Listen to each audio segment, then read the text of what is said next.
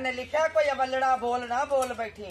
ਹੁੰਦੇ ਖਸਮ ਨਾਰਾਜ਼ ਬੜ ਬੋਲੀਆਂ ਦੇ। ਬੋਲੀ ਕਾਹ ਤੇ ਕੋਇਲ ਵੀ ਬੋਲਦੇ ਨੇ, ਬੜਾ ਫ਼ਰਕ ਹੁੰਦਾ ਵਿੱਚ ਬੋਲੀਆਂ ਦੇ। ਜਿਹੜੀਆਂ ਖਸਮ ਦੀ ਤਾਬਿਆਦਾਰ ਹੋਈਆਂ, ਪੱਲੇ ਭਰ ਗਏ ਉਹਨਾਂ ਗੋਲੀਆਂ ਦੇ। ਉਧਰ ਗਈਆਂ ਨੂੰ ਸਰਦਾਰ ਪੈਣ ਧੱਕੇ ਸ਼ਰਮਾ ਵਾਲੀਆਂ ਨੂੰ ਝੂਲੇ ਡੋਲੀਆਂ ਦੇ।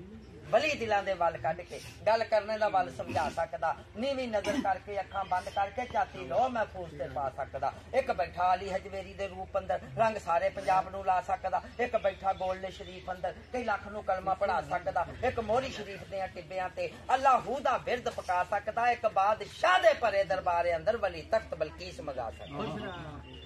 ਇੱਕ ਬਾਦਸ਼ਾਹ ਦੇ ਭਰੇ ਦਰਬਾਰੇ ਅੰਦਰ ਬਲੀ ਤਖਤ ਬਲਕੀਸ ਮੰਗਾ ਸਕਦਾ। ਸਹਿ ਕੋਹਾਂ ਤੋਂ ਕੱਪੜਾ ਨਿਚੋੜ ਕੇ ਜੀ ਮਸਜਿਦ ਦਿੱਲੀ ਦੀ ਸਿੱਧੀ ਫਰਮਾ ਸਕਦਾ। ਛਿੱਟੇ ਵਜ਼ੂ ਦੇ ਪਾਣੀ ਦੇ ਮਾਰ ਕੇ ਜੀ ਕਾਫਰ ਹੋਣ ਤੋਂ ਵਲੀ ਬਚਾ ਸਕਦਾ। ਸ਼ਾਨ ਵਲੀ ਦਾ ਪੁੱਛ ਕੁਰਾਨ ਕੋਲੋਂ ਕੁੱਤਾ ਵਲੀ ਦਾ ਜੰਨਤ ਵਿੱਚ ਜਾ ਸਕਦਾ।